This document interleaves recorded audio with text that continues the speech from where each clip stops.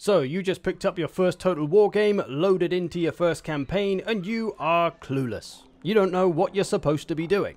Well, I'm going to tell you what you're supposed to be doing and go over some of the basics of campaigns and important things to be aware of. Campaigns can honestly be as simple or as complicated as you like. It depends how in depth and how effective you want to be at the campaigns, but you can get by just ignoring things sometimes. Anyway, let's go from the top. So, turn number one. What are our goals? First of all, we can look at our long campaign objectives. What are we ultimately supposed to be doing? How do we win? This is where the objectives come into play, whether you want to take the Homeric victory, which basically means you need to take out Troy in Odysseus' case, which is something we're definitely going to have to build up to and will take us a while, or you can go for the Total War victory, where you basically just take everyone out, control loads of territory, and be the king. Again, another objective that takes a long, long, long, long time to achieve. Whichever one you go for, it's going to take a while, so we don't really need to worry about these. Troy is all the way over here on the map for Odysseus, so it's a long old trek to get there, let alone to be powerful enough to be able to take them on. So we don't need to worry about these two objectives for now. What are we supposed to be doing then? It's all about the two E's, economy and expansion. Economy being increasing your resources up the top here, food, wood, stone, bronze and gold. We want more and more of these so we can build bigger cities and better armies. The bottom number is what your income is per turn and the top number is how much you have stored up. Food is probably the main resource as it funds our armies, but they're all important for various purposes. So goal number one is improving our economy by increasing our resources. And goal number two is expanding our territory. Currently I have a couple of settlements on this small island, but why not have this whole area here? I can expand and take all this if I want to or it can have kind of an indirect expansion by making friends and allies with those who do control it. So, how do we improve our economy? First, we need to understand how a province works. We have a capital city like Ithaca here, and then I have three kind of production settlements. The only one I have at the moment is Same, which as you can see by this icon here is a farm settlement. It gives me food. This settlement gives me stone if I were to take it, and this other one down here gives bronze. So I can get different resources by taking different kinds of settlements. If I want a certain kind of resource, I just need to find a settlement that will increase it. So at the moment I can get lots of food, but not a lot else, so I'm going to need to expand. But the other way to increase these resources is to simply upgrade the buildings. The more you upgrade them, the better they get. You do need to watch out for negative traits though, like on this building you can see on the far left it gives minus 70 growth, which will slow down the growth of my province. Or this one, minus 1 happiness. If I build this when my happiness is struggling in the region, it might be a bad idea because it'll make things a little bit harder for me, so I might want to avoid that one. We can also build the military buildings, which will allow you to unlock new kinds of troops. You'll also want to get these so you can get stronger units in your army, although of course these will have more upkeep cost and make the armies more expensive. So if I'm looking at a certain settlement, I can decide if I want to increase the output of the resource that it produces or build something unrelated to the resource. In this case, I'm going to make a military building so I can get some javelins, but in the long run, this may not be the best place to put this building because I can't upgrade it fully to its highest level because these small settlements only go up to tier 3. To build this marksman's range, I need it to be tier 4, so it would have to go in the capital. This is fine though, I can destroy it later and replace it with something else. For now, I just want to get some javelin units in my army nice and early. So overall, the main way of gathering resources is to construct buildings and upgrade them. Of course, the more you upgrade the building, the more income it will grant you. Honestly, you don't need to think too much about it, just upgrade buildings when you can if you can afford it. Like I said, you can play this very simple or very complicated. If you want to pay attention to all the little stuff it says on the left there and how it'll affect your economy, go for it. If you want to ignore it though, that's fine too. As long as it's upgrading, you know it's a good thing. Only if it has a negative trait, you might need to pay a bit more attention to it.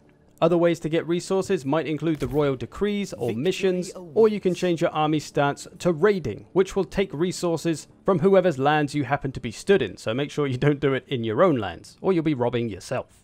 So you can go into an enemy's territory and raid them to steal some stuff off them, basically. You can do this in non-enemy's territory, but of course they're not going to take too kindly to it, and it will affect their diplomacy with you, meaning they might go to war with you, basically. For our royal decrees, these are perks that you get for every set amount of turns that pass. These will improve various things and are based around the 5 resources. Again, do you want to play simple or complex? If you want to go complex, look at what everything does and decide which is best for you at the time. If you want to play simple, just pick any old one and it'll be fine. You'll be improving over time no matter what. So these are some of the main things for improving your economy. And just to go over it as well, let's have a look at Divine Will, your favor with the various gods. These are fairly self-explanatory, simply scroll over the god to see what they do for you if you have favor with them, and then level them up through respected, celebrated, worshipped, and you'll get the appropriate rewards. Some of them may fit a certain playstyle better, or may just be situational when you're trying to do a certain thing, like trying to defend your homeland or push on the enemy. You can also pray to a certain god at any time to gain a short boon. Again, these are situational. This one gives us siege holdout time, useful if we're being besieged. This one reduces the enemy morale, useful if we're about to go into a big battle. Think about situations where someone would pray for something in real life, in situations of need. That's what we're using these for here. This one with Poseidon immune to deep seas attrition. So if we end up in some deep seas and we really don't want to take the attrition, we can pray to Poseidon and hopefully he'll be able to get rid of it. So use the prayers when you need them for the situations. And then we've got Hecatomb, which will just improve the favor with a certain god. So if you want to bump yourself up into the next tier for a god in a certain situation, again, situational, might be useful to try and bump yourself into celebrated to gain those boons, which could be useful at the particular time you jump in there because of course these god favors are decaying all the time as you can see at the top minus 10 per turn.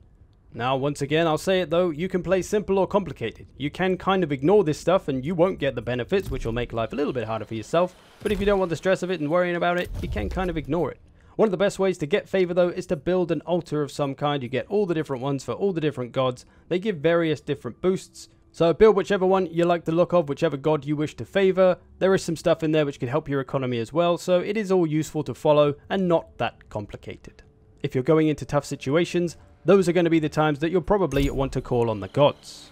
You may also have some faction unique mechanics that you may want to look into. These are also different. I can't really tell you exactly how to use them all, but just read them and I'm sure you can figure it out.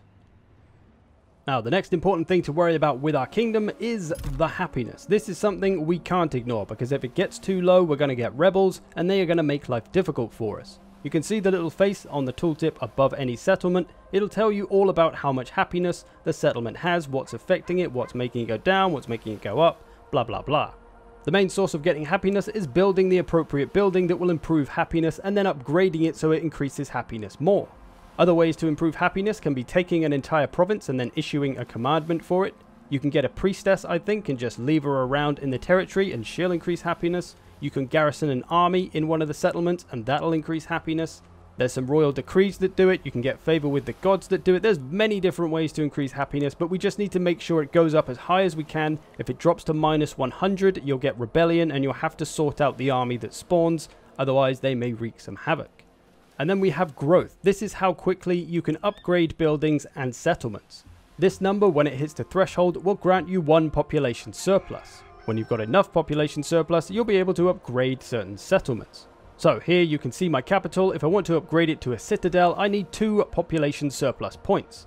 At the moment I've got zero, so I need to wait for my growth to keep going up, generating me those population surplus points, and then I can use them to upgrade the settlements. You can increase growth through various means, just like happiness, but it is one of those things that's always going up, so you can ignore it if you want to. If you do pay attention to it and do try to grow things faster though, you'll be able to upgrade your settlements quicker, meaning ultimately more income. So it can pay to focus on that, potentially. And then we have different cultural influences. You can think of these like religions, trying to convert more and more people to their side.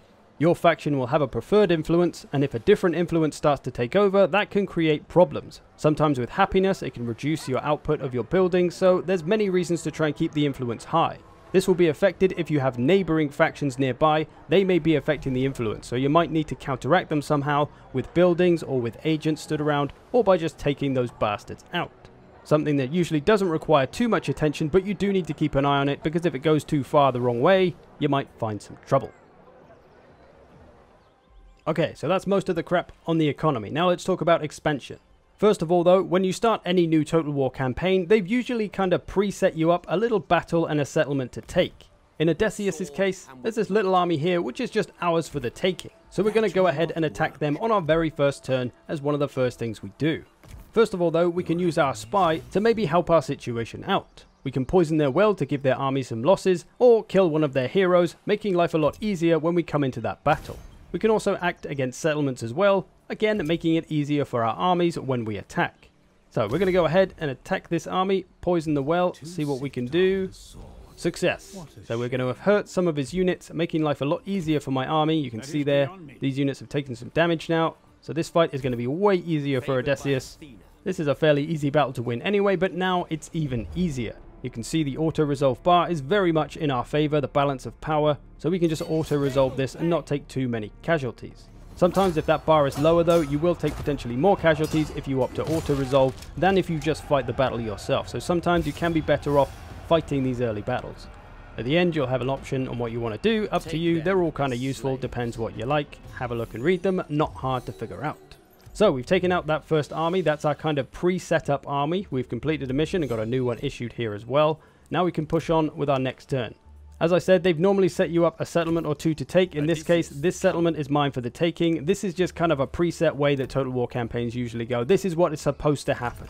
Don't go back and sit in your other settlements. Push on and take this one because you're kind of supposed to. It's set up that way to be nice and easy for you to give you a good little start. So we go through the next turn and here we are. We recruited a few more units so our army is a little bit bigger now, making it a bit easier to take the settlement. Again, going to use my agent here, Murmurs of Sedition, going to potentially assault the garrison. We've succeeded again, nice. So every settlement will have a garrison army. You can see it if you click on the settlement, and then there's a little button at the bottom. It shows you what they've got if you're near enough to see it. Or there is just a little icon above the settlement to show you how big their garrison is as well. But we're going to go ahead and attack this. Again, nice auto-resolve. Got some good damage on those units from the agent. And we'll be able to take this settlement, no problem. Now, once we've won this battle, we'll have a choice on what to do, though. We don't have to just take the settlement straight up. We've got some options. You can just occupy, which is the safest bet. You will control the settlement. It'll be yours. Won't be too much problem with happiness and things like that. All good. You can loot and occupy, which will give you some resources, but of course the people won't like it so much, so you might have to work a little bit harder to stabilize that happiness. I'd say loot and occupy if you think you can safely control the population without them getting out of hand and getting overrun by rebels. Sacking settlements will get you lots of resources, but you won't take the settlement. You'll just kind of ransack it and then run away, leaving it. You can take it again afterwards, though, if you want to, so you have some options with that, or you can take it on the next turn. Or you can raze the settlement, which will get you some resources, make everybody very unhappy because you'll burn the place to the ground. This is the one you'll want to use if you're trying to hurt the enemy faction. You don't want to take this territory because it might be really hard to hold, so you don't want the problems of worrying about it yourself, but you want to weaken the enemy, so you'll go ahead and raze it. But in this case, we're going to occupy because this is part of our province and we want it. So we've expanded now. We've got three settlements of the four. You can see this province has four settlements altogether. We've got Ithaca, we've got Kranioi, or however the hell you say that, and we've got Same, but we don't have Hyri yet. So this is the one we need to take to complete the province. A province is just a group of settlements in the same region. So Hyri is the last one I need here, so my next course of action is going to be to come and take this. This is what I want so I can complete the province, and when I do, I'll be able to get this thing down in the bottom left, a commandment, which will give me some improvements to the region overall. Generally, when you're looking to expand, you want to take one province at a time, where possible. So one of your first orders of business is to try and take your starting province. Now, once you've got your first province, you're going to want more of them. This is where diplomacy really comes into play, and you have to be a little bit careful because sometimes you might make more enemies than you want. The little icon down the right side will tell you everything you need to know about your relationship with another faction, whether it's good or bad, and what's affecting it. Now, one of the important things to look out for when choosing someone to declare war on is making sure if they have friends or not. If I declare war on Sparta here, they have allies, the Mycenae and the Troezen. If I declare war on Sparta, I'm probably going to be declaring war on these two as well. That is way more than I want to fight. I'm biting off far more than I can chew. So Sparta, definitely not a faction I want to try and declare war on right now. Especially as they're very friendly with me as well. So I want to find someone who's not so friendly with me. One of these two maybe. The Kouretes here, and I'm already at war with the Teleboans, so obviously they don't like me. So maybe these Kouretes could be the ones I should go for. Let's have a look. If we look on the right, you can see who their friends are and who their enemies are. They're currently at war with one enemy, that's cool, but they have no friends, no military alliances, no military allies, no pacts of any kind. So this could be a good faction to declare war on because I'm only declaring war on them. Nobody else is going to get pissed off about it.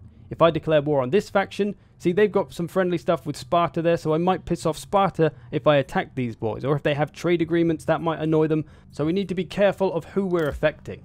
You can see this faction here has no friends or allies, so that could be another good one to attack. So always check out the diplomacy before you go declaring war on someone or even performing any hostile action against somebody. If you piss off the wrong people, you may not make them declare war on you right away, but you'll make them start to dislike you, and that may keep going, and then they'll declare war on you as well, and you'll end up in more wars than you'd like.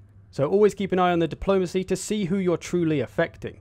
Sometimes it's not always possible to avoid declaring war on someone with an ally, but you just have to weigh up the power of that ally and whether it's worth taking them on, whether you can take on both of those factions, or maybe you could call one of your allies to help out against them as well. There's different ways to do it, but you just need to be careful not to get yourself into too many wars.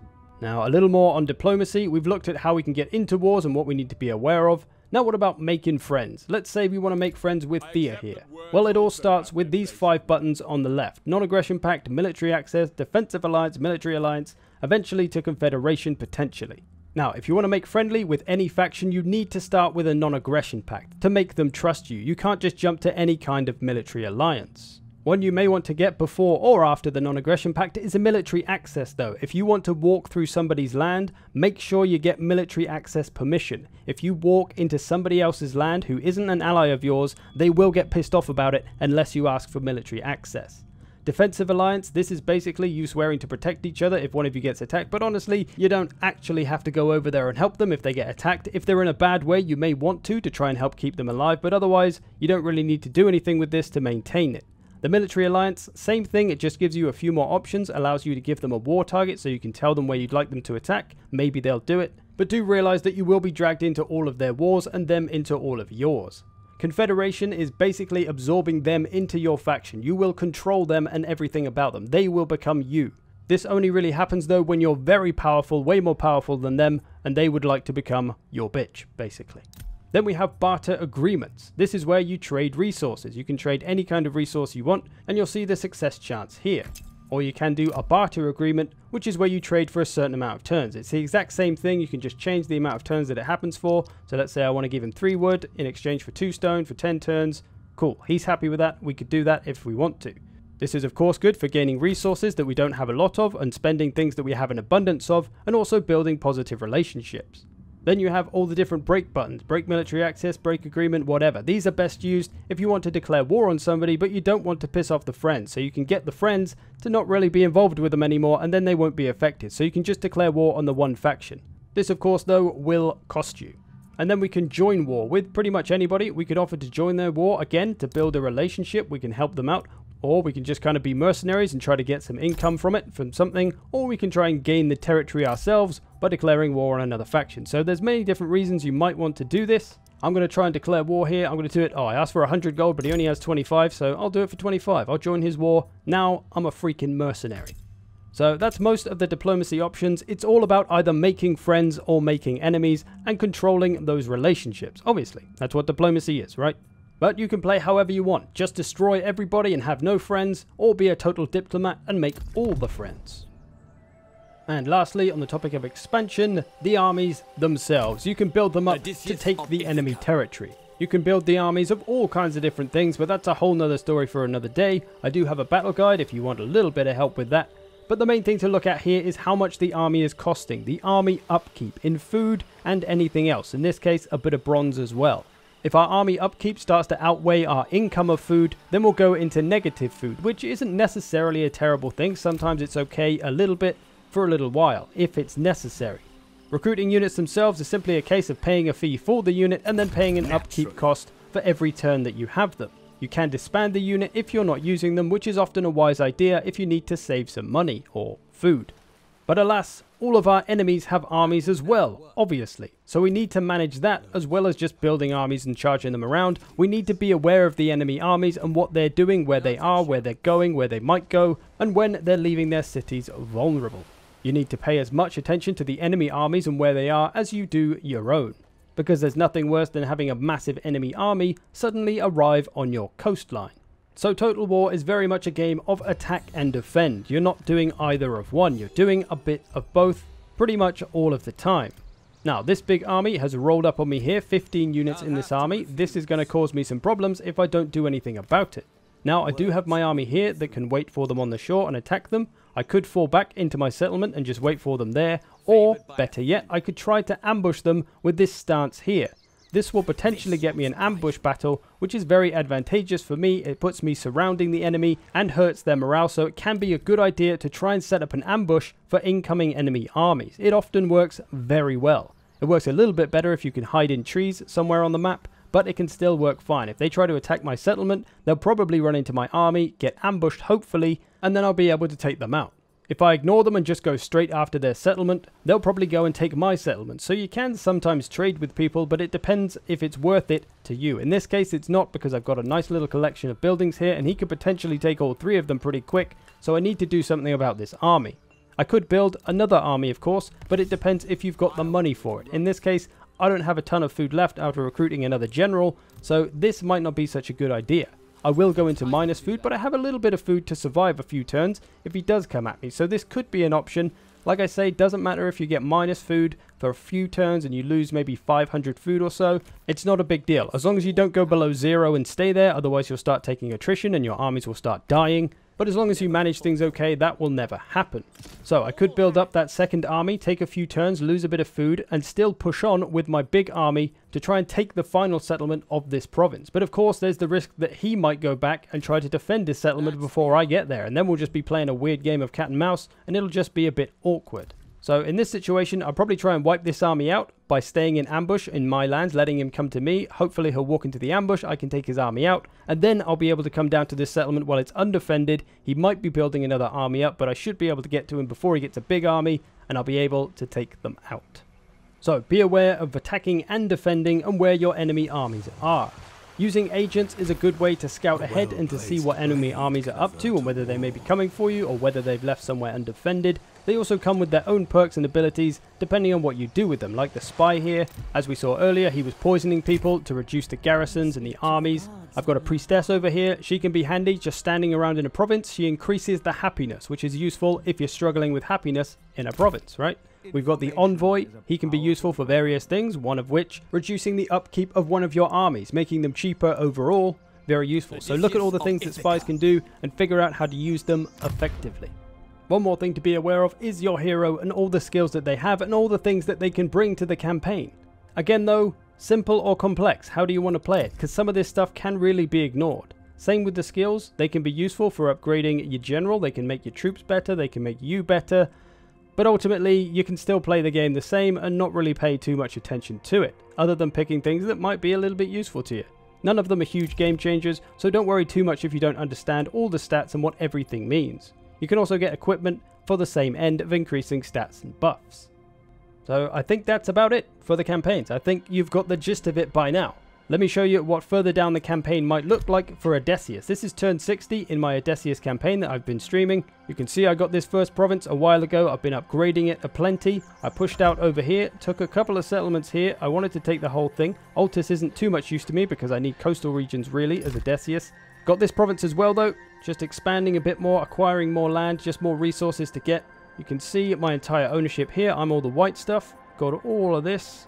So you can see I've just been expanding, right? One of the two things you need to be doing. Increasing your economy or expanding your territory. And as for my economy, as you can see, I've got a lot of food right now. Got a nice bit of income on all this stuff. Need a little more gold, but we're okay there. So yeah, increasing my income slowly and increasing my territory as well. So it's really up to you how much territory you want to take, what territory you want to take, who do you want to declare war on, who do you want to make friends with, who do you want to make enemies with. I've decided to take this little bit of territory and then I've pushed all the way out here because I wanted to try and take some of these islands. As I'm Odysseus, I like coastal settlements, so these islands are perfect for me. And as I gather a few more, I'll hopefully get a nice foothold to eventually start to move on Troy, or to maybe take some of the land near Troy and just build myself up to complete that final objective. I've also been making friends with some of my nearby factions, Sparta to my southeast. There's a little faction here I'd like to get rid of eventually, but for now we're okay with them. The Arcadians we're pretty friendly with, so I'm hoping that the Arcadians, myself and Sparta can take all of this lower region eventually and just control that and work together to get towards Hector. Maybe going north a bit, taking some of that territory. We'll see how it goes. But that's just my campaign and what it might look like as you advance through your campaign. You can play it however you like though. Such is the freedom of Total War. So there you go, a guide to Total War Troy campaigns. I hope this was useful to you. If there's anything I've missed that you'd like to know, drop it in the comments and I'll do my best to answer. Thanks for watching, I hope you've enjoyed this. Do check out these other videos if you need a little bit more help. I'll see you in the future.